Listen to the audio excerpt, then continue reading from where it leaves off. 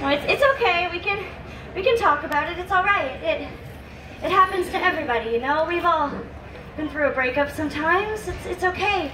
He went one way. I go both ways.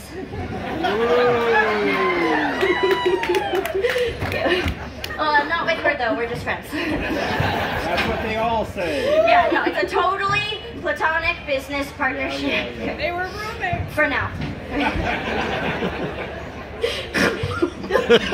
hear that snort.